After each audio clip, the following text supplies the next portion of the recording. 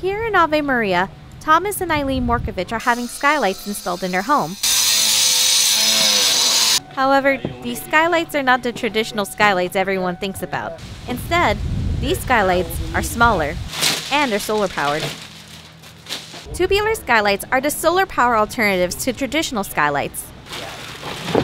First established in 1986 by an Australian inventor, these skylights changed the way sunlight was brought inside a room.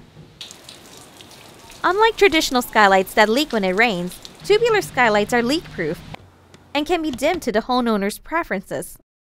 That's the center, and there's Peter Bearhorse, who is the owner of Solar Solutions, has been installing tubular skylights since 2001. According to Bearhorse, tubular skylights are more efficient than traditional skylights because of its unique design that captures the sunlight. number one, it has this mirrored tubing, okay? So instead of building a drywall shaft that you have to frame out, drywall, tape, paint, which can take two or three days, this substitutes. This goes in between the ceiling and the roof, which acts like a shaft and it's mirrored. When it comes down to tubular skylight, the light reflects.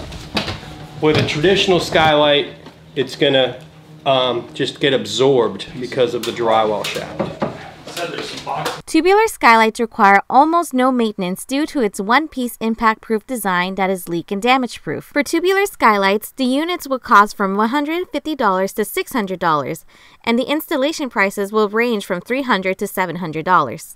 But Eileen and her husband Thomas are not strangers to tubular skylights since they had them installed in their previous house. we had them when we lived in the villages, and they really gave a lot of sunlight, natural light. I do not like waking up in the morning and having to throw every single light in the house on.